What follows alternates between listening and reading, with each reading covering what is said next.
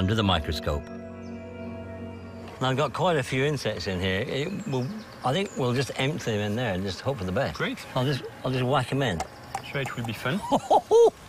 Big earwig there, look at that.